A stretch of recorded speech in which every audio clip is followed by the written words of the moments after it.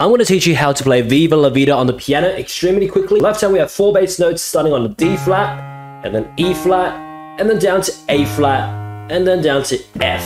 So those are the four bass notes, okay? And then the right hand we have two double notes. We have A flat and D flat played together, and the A flat and C played together.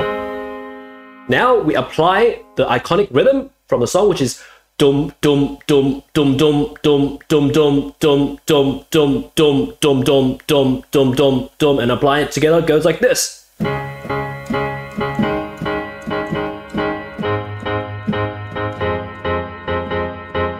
There you go.